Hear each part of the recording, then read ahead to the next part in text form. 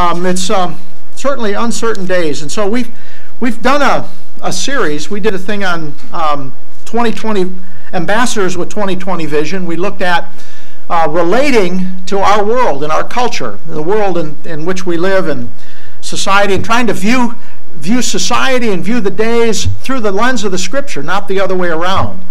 There are people that are trying to take and adjust the Scripture to um, the current social climate and issues of the day, and it, uh, it just doesn't work. And the church really has, has, has lost its way in many respects. So um, we've been, we were looking at the culture and how we relate to the culture. I want to turn and, and really begin to look at something now in the next several weeks um, about the local church in our culture, about our life, our vision together as an assembly. And there's a passage here in Acts chapter 20 um, that I have long loved and appreciated. And we're not going to go through it verse by verse. We're really kind of going to go through it topically. Uh, but I encourage you to read and, and to get familiar with it and to read uh, Acts chapter 20, verses 17 through 38, and then read the book of Ephesians, and then read the book of 1 Timothy. Because as you read those three books, there's a connection to them. Um, you can read Acts chapter 19 too, where, where the apostle comes in and he founds and he establishes the church in that region of Asia. And uh, you, have the, you have the church in Asia, the churches, Colossae and Ephesus, and different groups that were Laodicea that were established there. And then Paul travels. Now he comes back and he meets with the Ephesian elders here.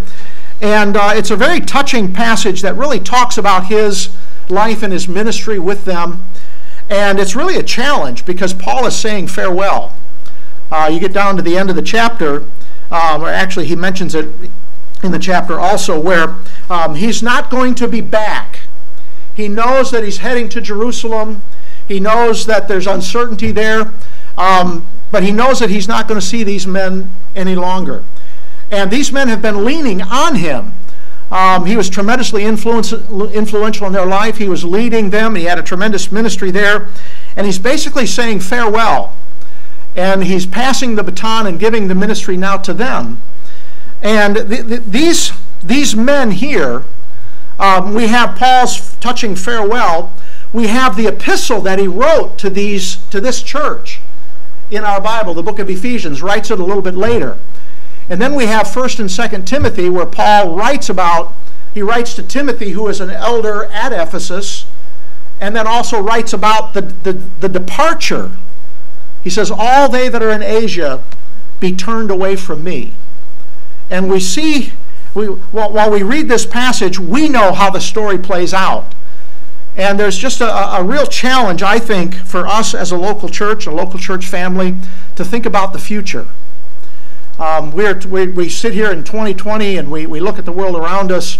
And uh, I, I don't know about you, but I came back after the shutdown with a, with, a, with a renewed zeal and a renewed passion about our church and our ministry. And, uh, you know, I'm thinking, you know, maybe I have 20 years left. I tell that to my wife and she laughs. But who knows? But the, the, but the future is uncertain. I think about Berean Bible Church 20 years from now. What's the ministry going to look like? Several of us are on, you know, we have, we're making the turn on the back nine, I like to say. Some of us are teeing it up on the, the, the 10th hole, some of us the 15th or 16th, some of the 18th, I don't know.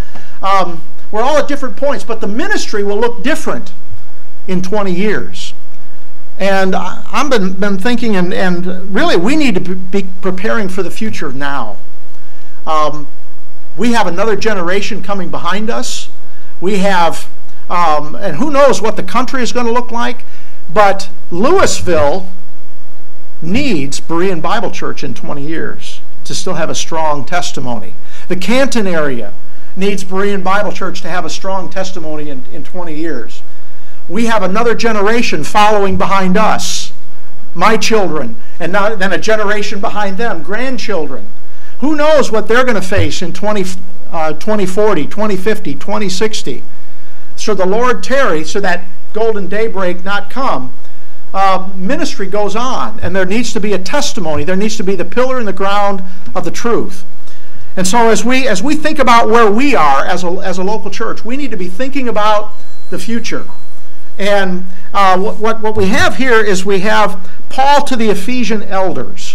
This morning I want to talk to you about the elders at Ephesus and the principle of eldership.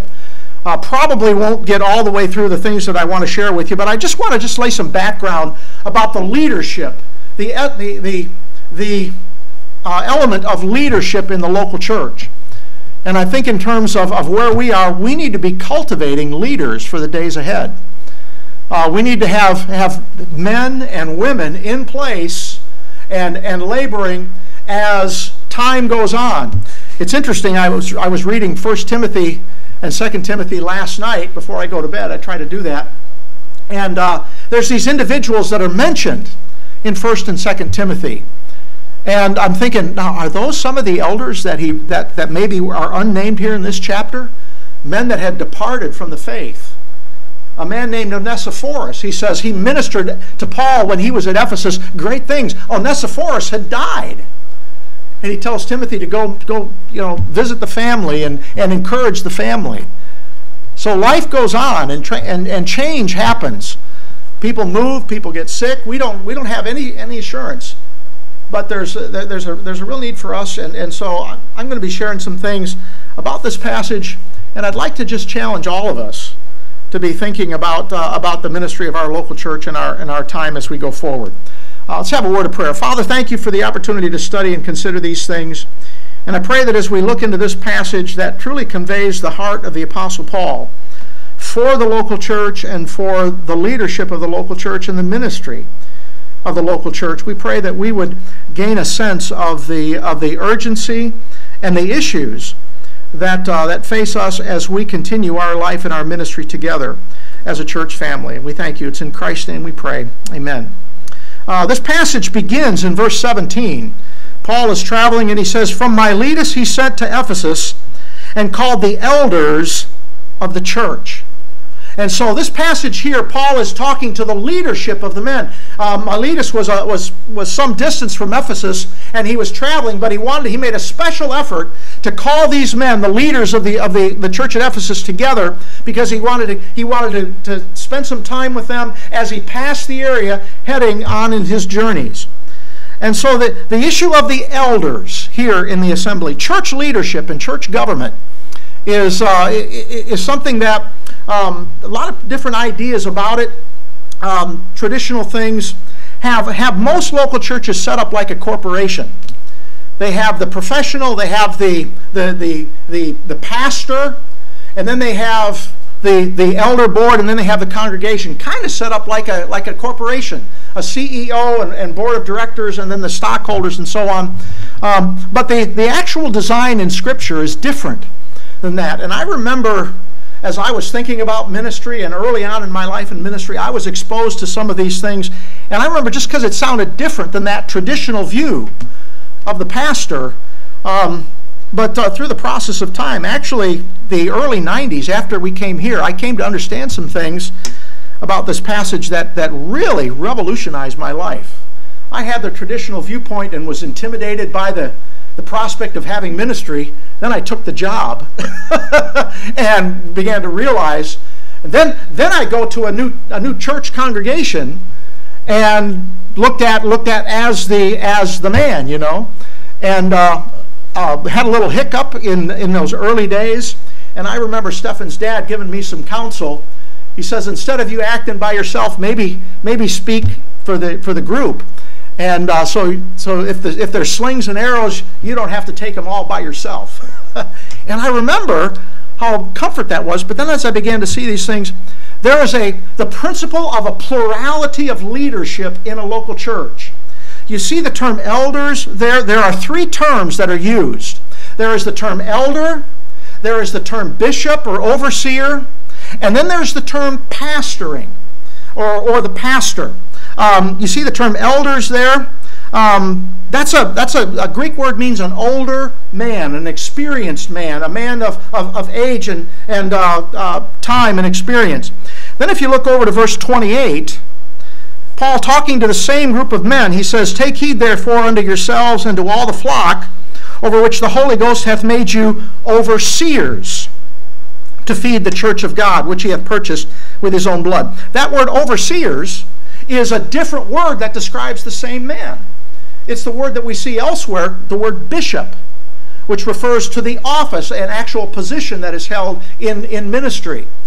So you, and, and then you have the, the function here in verse 28 um, take heed to yourselves and to all the flock over which the whole the flock the word pastor means a shepherd it means somebody that cares and feeds the, the, the, a flock of sheep well it's a, it's a spiritual truth about the care and the oversight of a, of a local church uh, take heed to yourselves and all the flock over which the Holy Ghost hath made you overseers to feed the church of God, which he hath purchased with his own blood, the care and feeding and protection of the flock.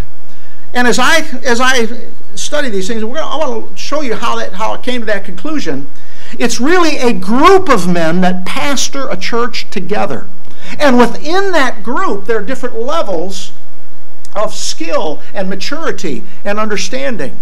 And it, I just want to show you that show you that, that concept. The term elder, like so many things in the scripture, is an Old Testament term. Come back with me to the book of Exodus. And I want to just show you where this, where this term comes from. Go to the book of Exodus, chapter number 3. Um, Exodus, chapter number 3.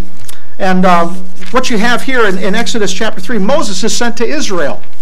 He is, he is commissioned to go and, and to lead Israel out of Egypt. And in, in Exodus, chapter number 3, just verse 16, Moses is told, Go and gather the elders of Israel together and say unto them, The Lord God of your fathers, the God of Abraham, Isaac, and Jacob, and so on.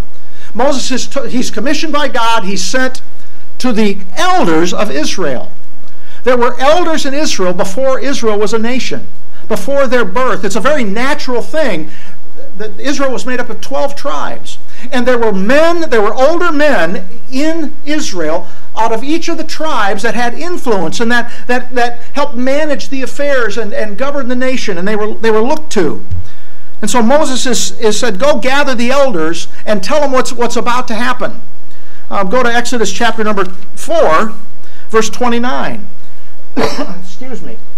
Exodus chapter 4 and verse 29. And Moses and Aaron went and gathered together all the elders of the children of Israel and then they, they do the signs and they, they, they, they produce the, um, the, the signs and wonders about what is taking place, and the people understand what's taking place, and the battle is on between God and Pharaoh, with Moses being the, the, the, uh, the, the human instrument there.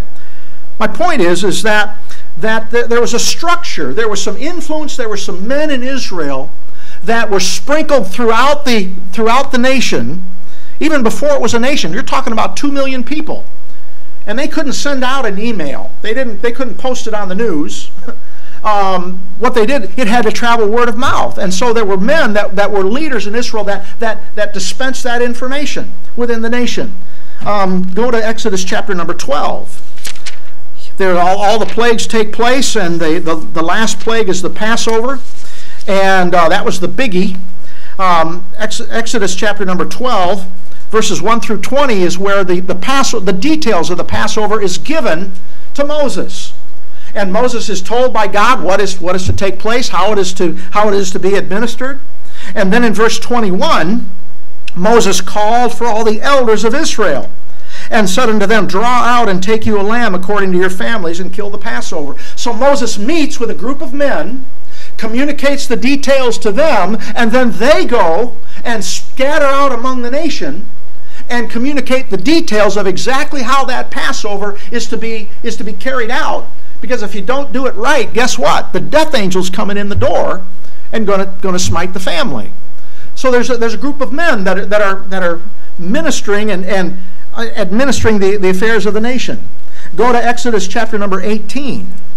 So the concept comes out of the Old Testament, the term. And really that's what you do with your Bible. When you see when you see a word used, it'll be used elsewhere in the scripture. You can hunt the word and in a, in a dictionary, Bible dictionary concordance, but what, a, what an exciting thing to just chase the rabbit and, uh, and, and, and uh, trace the, word through it. It's so easy now with your phone. You can type in the word elder, and you don't have this big concordance on your, on your desk. You can just scroll, scroll, scroll, and you can hunt. It's an amazing, amazing day that we live in. But Israel at this point has come out of Egypt and they're journeying towards Mount Sinai. And in Exodus chapter 18, Moses, his hands are full. Um, Exodus chapter 18, he's basically taken care of 2 million people. Anytime there's a disagreement, anytime there's a question, the line forms to the left of Moses, and, and people are lined up, and Moses is overwhelmed.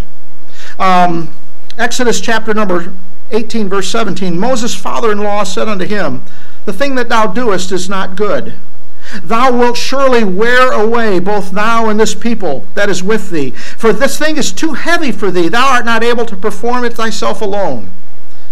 Hearken now unto my voice, and I will give thee counsel, and I will be with thee, and thou be thou for the people to Godward, that thou mayest bring the causes unto God. And thou shalt teach them ordinances and laws, and show them the way wherein they must walk and the work that they must do. Moses, you teach, you be the spokesman. But as far as administering all the affairs and the, and the disputes and the, the questions that come up among two million people, he says in verse 21 Moreover, thou shalt provide out of the people able men. And there's three categories here men that, such as fear God, men of truth, hating co- covetousness, and place them over them to be rulers of thousands, to be rulers of hundreds, to be of rulers of fifties, rulers of tens, and let them judge the people at all seasons.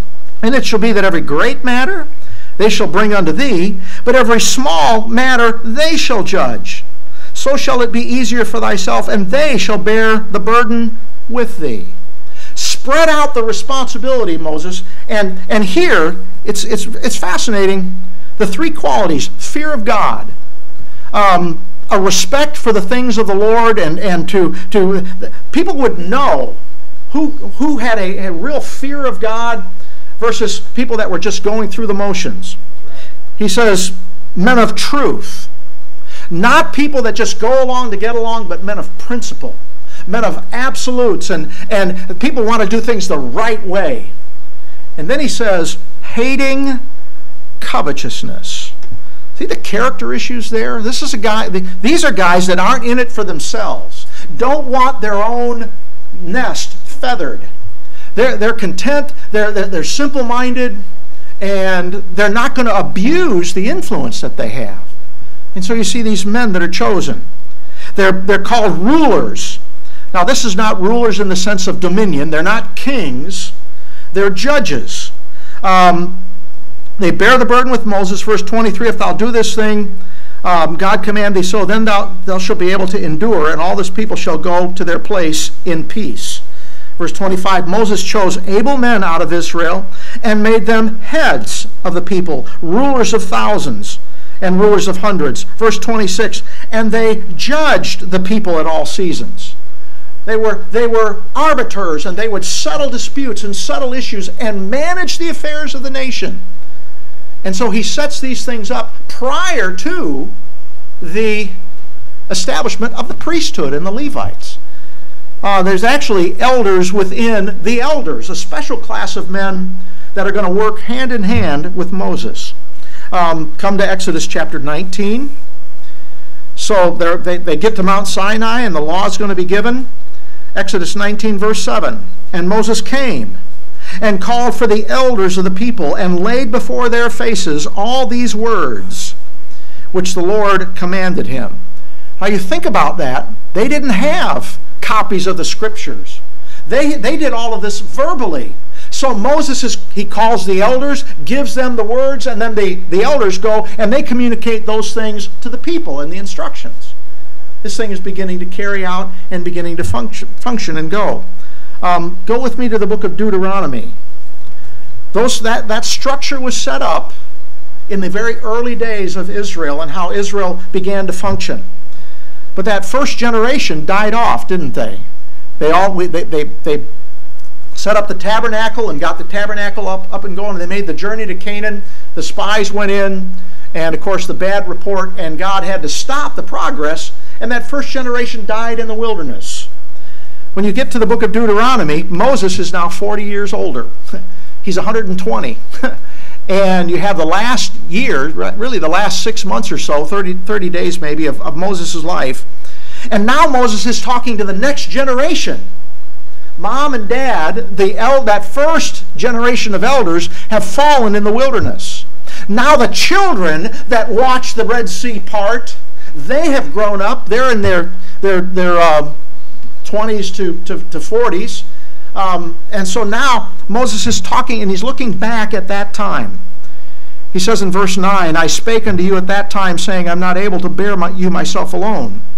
The Lord your God hath multiplied you, and behold, ye are this day as the stars of heaven. Um, verse 20, verse 12, how can I myself, uh, how can I myself alone bear your cumbrance and your burden and your strife? See, there was, there was, the nation of Israel were murmuring and complaining right along. So, verse 13, take you wise men and understanding and known among the tribes, and I will make you make, make them rulers over you. Interesting, a little more information here. Wisdom. There's some experience involved and, and some, some skill and some, some life experiences. And understanding and known. This is this is to, that word known works both ways. They knew the people because they were, they were members of the family. They knew the people, and the people knew them. And so there's this, there's this familiarity with them. And so when Moses selected those men out, they would have, it, it's kind of like a nominating process. The people would have accepted them because they, they, they knew their reputation and the, and the quality of their life. And so they're placed in this, in this structure. And what I, my point is here that that Moses is reiterating this same process now to a new generation who's getting ready to go into the land and fight the battles of war and the, and the, and the struggle there. Um, verse 15 So I took chief of your tribes, wise men and, and known, and made them heads over you, captains over thousands, um, officers, the end of verse 15. And I charged your judges at that time saying, Hear the causes between your brethren, and judge righteously between every man and his brother, and the stranger that is with him. Ye shall not respect persons in judgment, but ye shall hear the small as well as the great. Ye shall not be afraid of the face of man, for the judgment is God's. And if the cause be too hard for you, bring it to me. Notice the equality in the respective persons there the small and the great, the brethren, the national members of the family, and the stranger. One law for all. And these men are, are uh, together, they are the political structure of the nation of Israel here. And of course, then you also have the religious leaders, the priests, and, and so on, that are set up. My point is, is this term elder, it refers to age and experience and recognition by the people it, it, it talks about wisdom. It's, they're, they're recognized and they're known. And there's a group of men here. That gives you the concept of the, of the elders. Come with me to, um, um, um, come over to the, to the book of Acts, chapter number 20. And that concept was even existed at the time of Christ in the, uh, in the nation of Israel. There were the chief priests, the religious class, the scribes and the Pharisees, the Sadducees, and the elders. It's still recognized that there is a, there's a class of people within Israel that are looked to and that are part of the administration uh, of the affairs of the nation. Um, we see elders oftentimes sat in the gate in the Old Testament, like in the book of Ruth, when the, the whole process between Ruth and Boaz and the kinsman redeemer was brought up. It was brought before the elders of the gate, and they, they were witnesses and they made judgment. So this term elder has a rich meaning and has a concept to it. Now, as we, as we see the, the, New, the New Testament concept is in place, notice um, Acts chapter 20 once again and verse 17. And from Miletus he sent to Ephesus and called the elders, plural, of the church, singular. Now, they're could possibly have been more than one church at Ephesus, and Paul is talking collectively of the church at Ephesus. But it seems to indicate to me, and the pattern is seen elsewhere in the scripture, that there's a plurality of men within the local church called elders that would match the elders of the Old Testament just in a, in a New Testament concept. contents.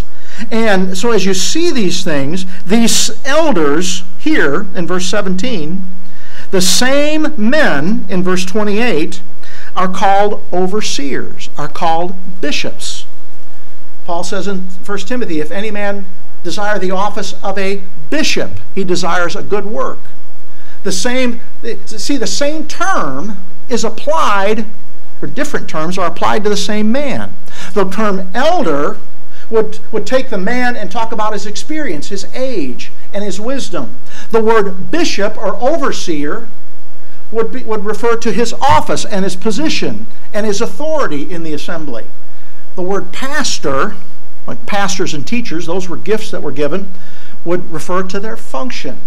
And together you, you see how those, those men operated and they worked. And in the early church, in these days here, you had gifts too. You had apostles and prophets and pastors and teachers. You had supernaturally gifted men that worked together in the local church and managed and taught and ministered to the people. So you, so you see those things operating uh, repeatedly. I want to show you some examples of this. Go to, go to Acts chapter number 13. And I just want to um, show you how the, the traditional view of a pastor, of, of a one man ministry or one man leadership, really doesn't match the, the, um, the perspective in the scripture repeatedly over and over again. Acts chapter 13. Here's the, the, the, where the Christians were called, they were called Christians first at Antioch. This is the, the first grace church of Antioch. Acts 13, verse 1. Now there were in the church that was at Antioch certain prophets and teachers, as Barnabas and Simeon, that was called Niger, Lucius of Cyrene, and Manaen, which had brought up, been brought up with the Herod the Tetrarch, and Saul. There's at least five men individually that were listed there carrying on the ministry at the church at Antioch.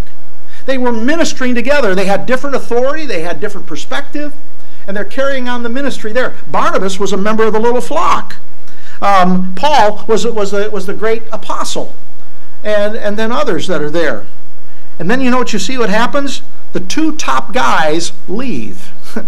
They're separated and they begin to go out in the apostolic journeys in chapter 13 and chapter 14. Paul is traveling and he's gone for several years. And the ministry doesn't skip a beat. Takes the top two guys out of the out of the, the local church and the church goes on and functions. It's just it's, it's, it's a fascinating thing. Go to Acts chapter 14. Paul, as he's on his first journey, goes into the region of Galatia. This is where the Galatian churches were established, that, that the book of Galatians is written to a, a cluster of churches there.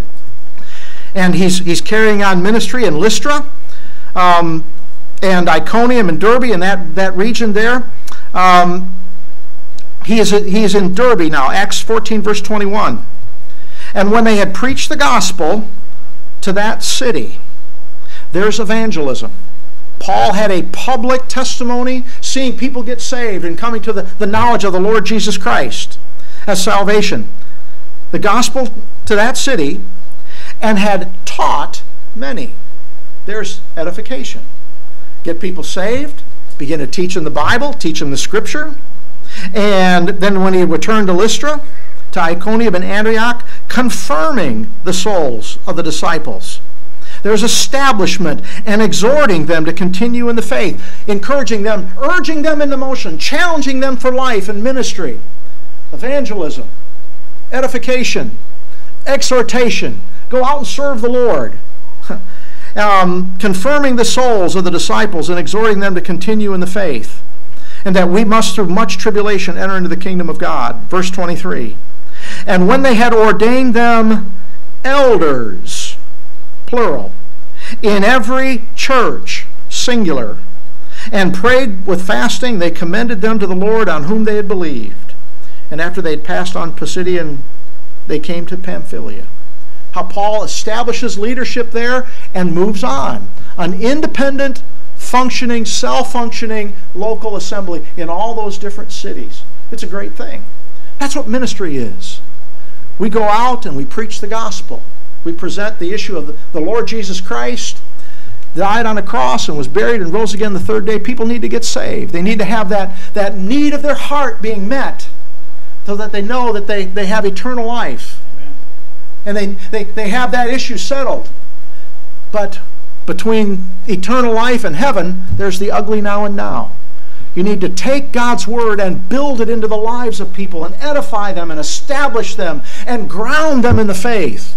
Teach them and, and build them up in the faith and, and challenge them to encourage and, and go forward in, in life and in ministry. There's life together that we share. And then around that life that we share, there's structure. There's this term, elders, that are established, overseers, to together pastor the assembly, the structure. You see how that, how that works and how that plays out. Go to uh, Acts chapter 15. There's the church at Jerusalem. Acts chapter 15 and verse 22. Now, this is the little flock, but you see the same principle. Then it pleased the apostles and elders with the whole church to send chosen men of their company to Antioch with Paul and Barnabas, uh, namely Judas and Barsabas and Silas, chief men among the brethren. You see, apostles, those are those special men with the special authority, and elders there, a group of men working with, with, with the congregation and the people. Come to the book of Philippians. We saw, we've, we've seen the Ephesian church was set up that way. Go to the book of Philippians, Philippians chapter number 1. Philippians chapter number 1. The church at Philippi was established in Paul's second journey, and uh, it was a city in Macedonia. Philippians chapter 1, verse 1, and Paul and Timotheus, the servants of Jesus Christ, to all the saints in Christ Jesus which are at Philippi, comma, with the bishops, there's the overseers, and deacons, there's the other office. The oversight, it, this, these men were elders, but Paul here just uses the term bishop to, ex, to express the idea of office. It was a recognized place and, and ministry. You see the plurality there? With the bishops and deacons, a group of men having oversight over the assembly. Go to 1 Thessalonians chapter 5. 1 Thessalonians chapter 5. Thessalonica was established, it was a local church that was established in Acts 17. Paul was there for a short time and then moved on to, to Athens and Corinth and, and, and the, the, the ministry in Asia. And this, this Thessalonian church was established, and Paul had to leave shortly after he was there. Look at what he says in chapter 5 and verse 11. Here's local church life, beloved. He says, Wherefore comfort yourselves together and edify one another, even as also ye do. You know, in the midst of suffering and persecution, um, this church was tremendously persecuted and tremendous affliction. You know what the saints had to do? They had to comfort themselves together. They met. They didn't have to meet virtually. they didn't use Zoom. They had to gather and have the, the eyeball to eyeball, the interaction, support, and encouragement in tough times. That's what he says for the church there. Verse 12 And we beseech you, brethren, to know them which labor among you. See the plurality of men?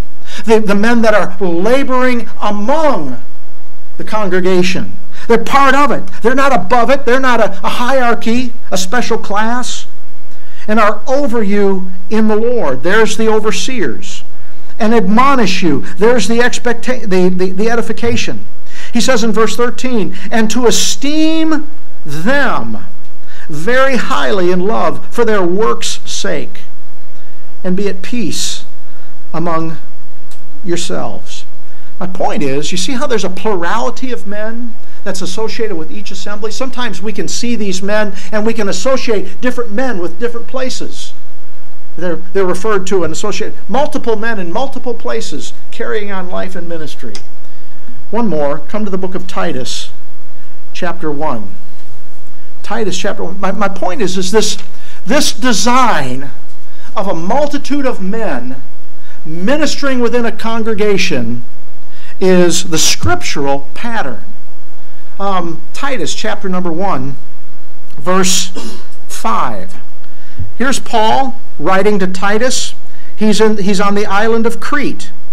And he says in verse 5 For this cause left I thee in Crete, that thou shouldest set in order the things that are wanting, and ordain elders in every city as I appointed thee. Groups of men, multitude of men, multiple men that labor together within the assembly. As I appointed thee. Gives some qualifications there in verse 6. Verse 7 For a bishop. There's the overseer. There's the office. See how the same men, the same men are called elders in verse 5 are now called bishops in verse 10. There's the office and there the authority.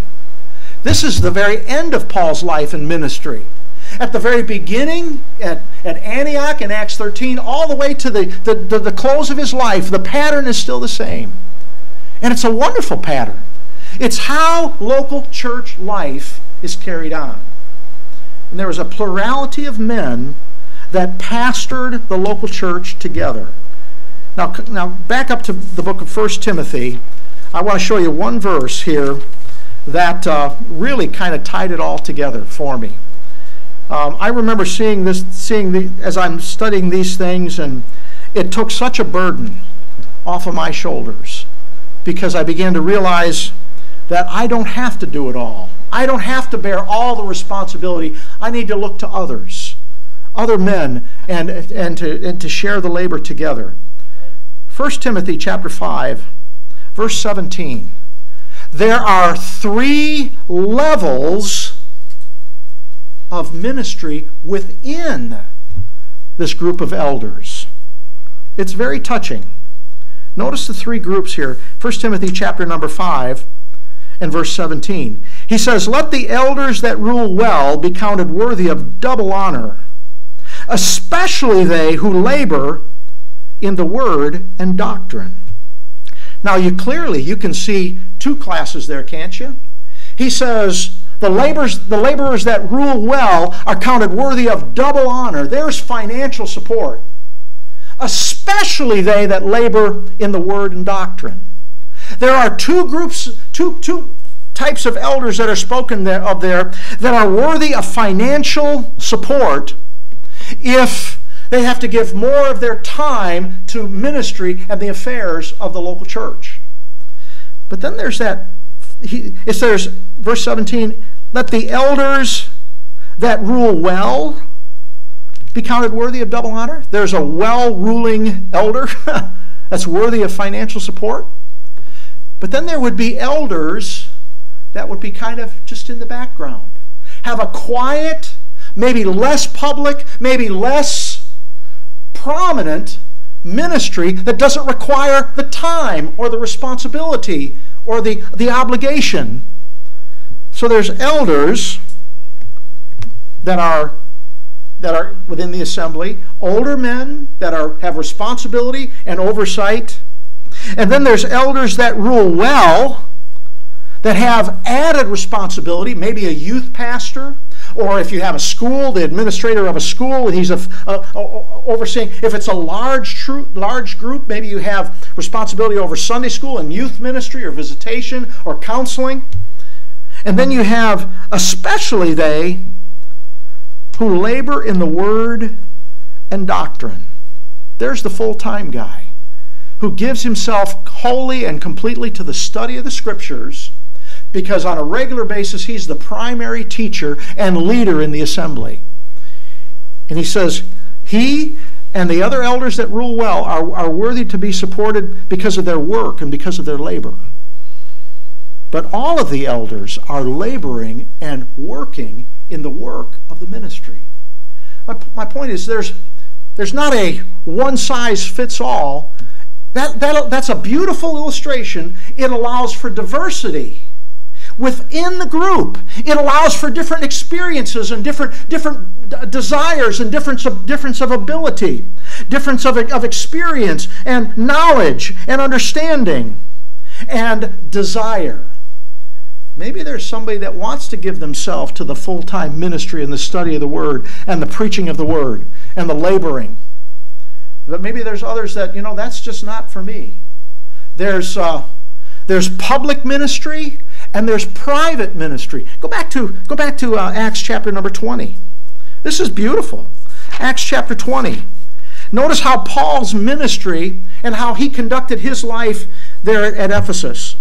Um, he says in verse 19, Acts 20, verse 19, serving the Lord with all humility of mind, with many tears and temptations which befell me by the lying in wait of the Jews, and how I kept back nothing that was profitable unto you, but have showed you, he lived it, he demonstrated it in their midst, and have taught you. He communicated, he had a, he had a teaching ministry publicly and from house to house. Paul had a public ministry where, where he taught the, the, the, the, the saints as they gathered as a group. And yet he also had house to house, private, personal interaction with the saints. Maybe saints needed more, in, more, more personal instruction or, or, or personal attention. And see, see how, how that allows for variation within the leadership. You can have people that, that, that maybe I'm not the public guy. I can't stand in front of a, a, a group of people and teach.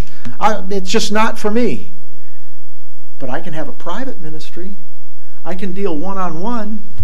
And I can use my experience and my knowledge and my understanding and my influence and try to come along and support the weak, encourage the saints, exhort, counsel, minister. What this does is it, without looking to one man to do it all, you have this wonderful balance and diversity. You have a, you have a cluster of men within the assembly that maybe one man is easier to identify with this person here. I could go, go to him because I identify with him. I'd be more comfortable talking with him as opposed to the public guy. public guy might use me as a sermon illustration sometime, and I don't want to do that. you know, but you see how beautiful that is? Public and, and private ministry and counseling and, and exhortation. And it, it allows for diversity within the elders. You know that there's very few guys that can do everything. You know, the superstar.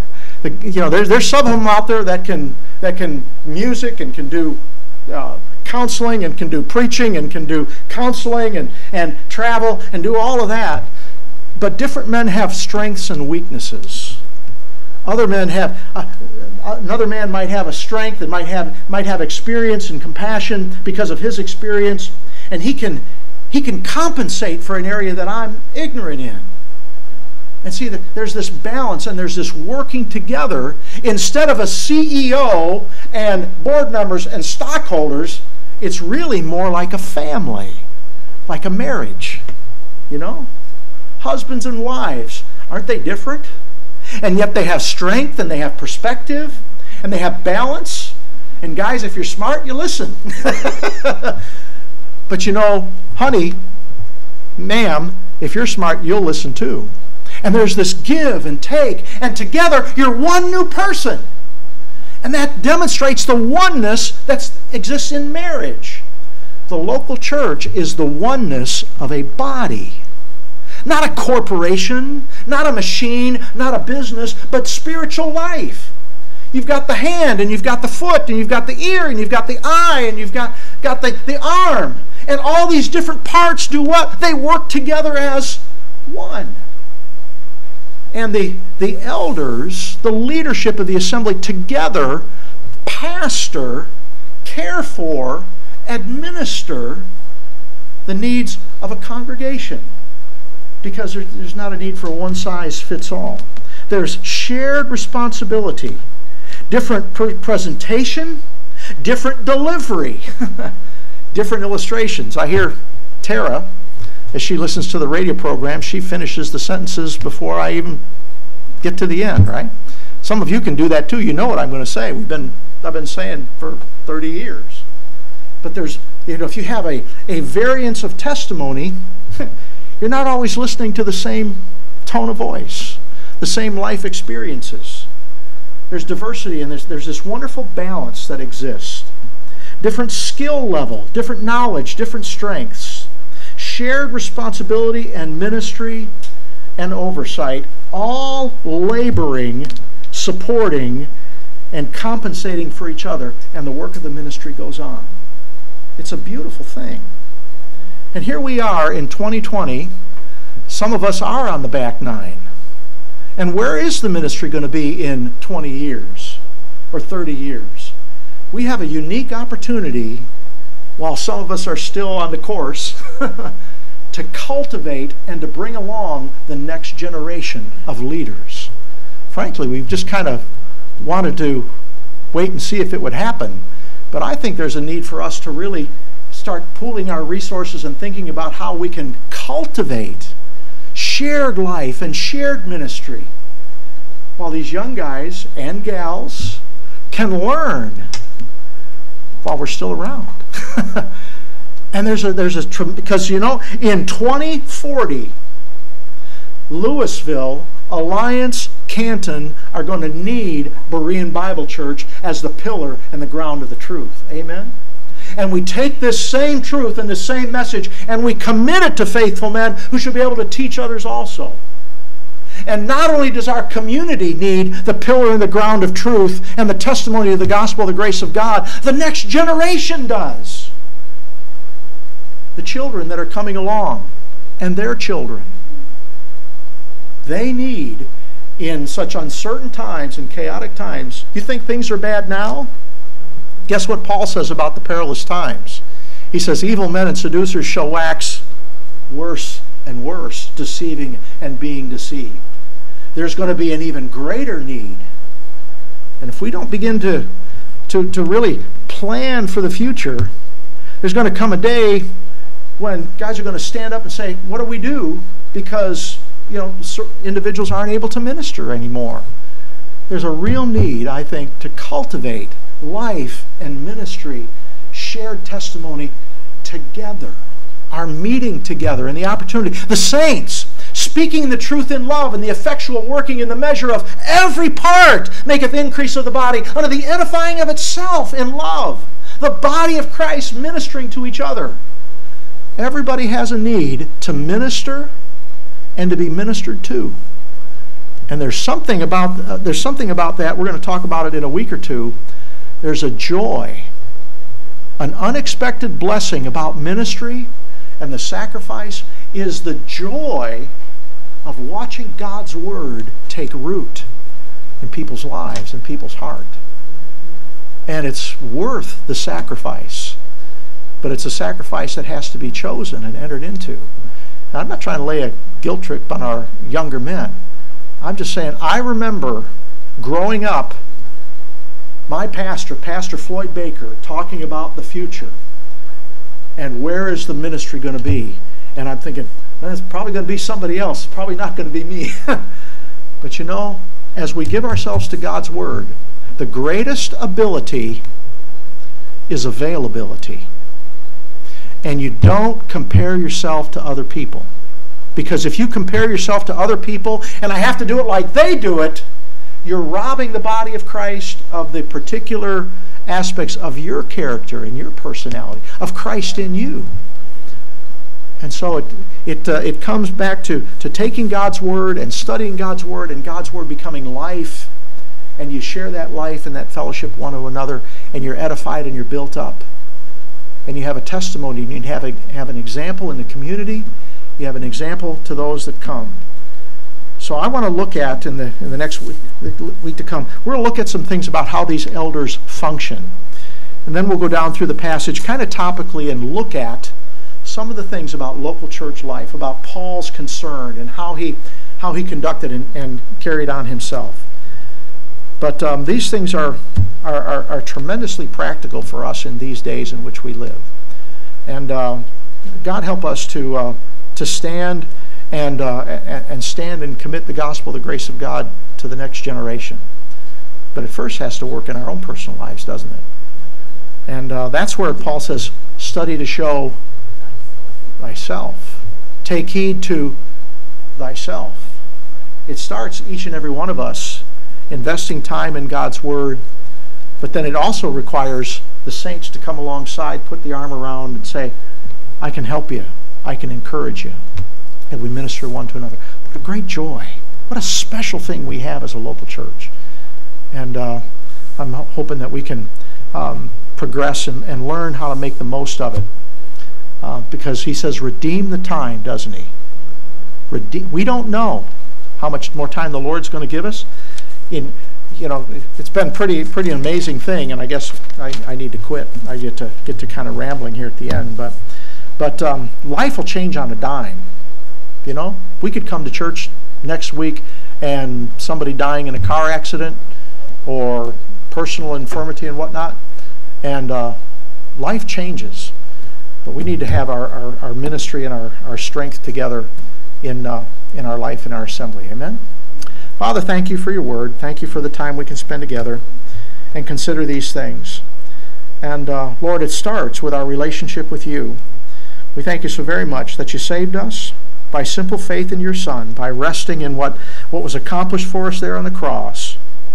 And then, Father, as we as we rest and rejoice in that, then we get into God's Word and we find out all that that opens up to us. And that lives and works in us. And it lives and works in one another. And we enjoy fellowship and we enjoy ministry together. What a joy, what a privilege. And Lord, as we as we go forward, may we each of us look at how we can contribute to the life and the ongoing ministry of our local church and our local church family as we invest in one another for your honor and glory. It's in Christ's name we pray. Amen.